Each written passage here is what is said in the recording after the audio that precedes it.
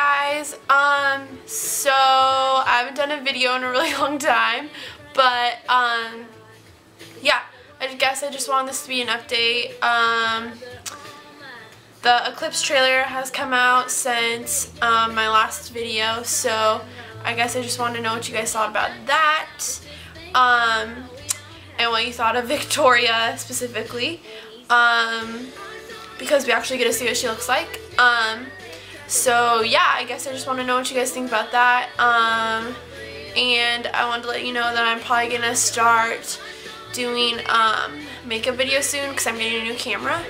Um, so yeah, just let me know what you think about how you think like all the characters look. Um, and yeah, I hope you're doing well and um, I'll talk to you soon. Bye.